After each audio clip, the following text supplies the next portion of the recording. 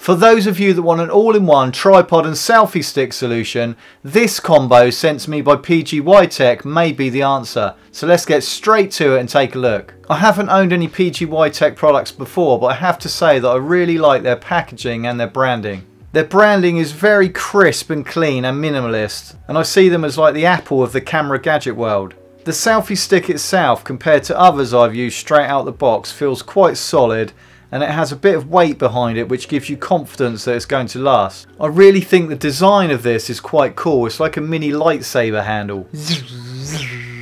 The size is fairly compact, measuring 18 centimeters by 4 centimeters by 4.5 centimeters, but that includes the phone holder, which we'll talk about in a minute. It's not as pocket friendly as something like the GoPro Shorty, but it does still slip into your pocket and it offers much more than the Shorty can offer. The selfie stick comes with a GoPro finger mount already attached, so you can attach your Insta360 ONE R or your GoPro Max directly to the stick and it has a quick release pin that pushes into place and then locks with this tiny latch and it holds the camera solidly in place. And there's a spare latch included as well in case you lose it. You can also change the GoPro mount to a quarter inch thread using the included adapter so you can attach any camera with a quarter inch screw thread. To use it as a tripod you simply lift up the phone holder, open up the legs push the selfie stick up a bit and then lower the phone holder so it's out of the way. The legs are plastic but they feel really well made and they open to around 18 centimeters wide which gives the tripod a stable base.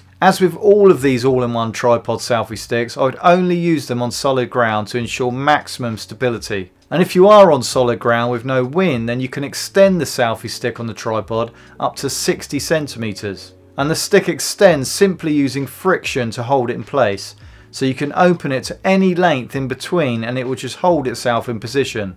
The tripod legs have magnets on so when you close them up they snap into place and the tripod then becomes the handle for the selfie stick. And as with any compact system there's always a compromise on length but this selfie stick has a total length of 64 centimeters which will give you what you want in most cases and is still enough length to get some really creative invisible selfie stick shots as well.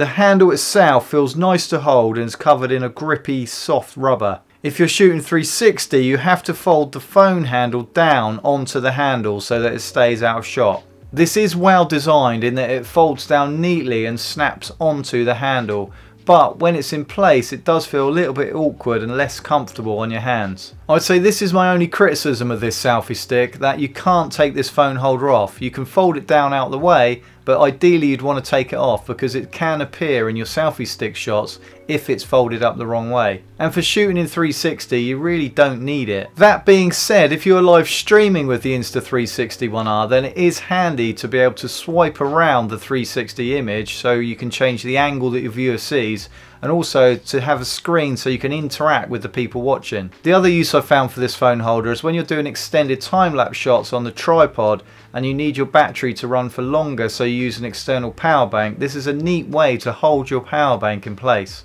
Also if you're using the 4K mod or the 1 inch mod or a standard GoPro camera, this phone holder is quite handy to give you a bigger screen at the base of the selfie stick for monitoring your shot. If you're using it in this way, the other great feature is that the mount at the top of the stick can be adjusted 90 degrees at a time if you wanted to reposition it and reposition the camera without adjusting the tripod or the selfie stick. There have to be compromises when you're trying to buy an all-in-one tripod and selfie stick. It won't be the longest that you can possibly have and it won't be the most stable that you can have. But I think that the PGYTECH combo is the best one that I've seen so far. You'll find a link to the selfie stick in the description below. Let me know in the comments what you think. And if you want more accessory ideas then you can watch these two videos next. My name's Rich, thanks for watching and I'll see you in the next video.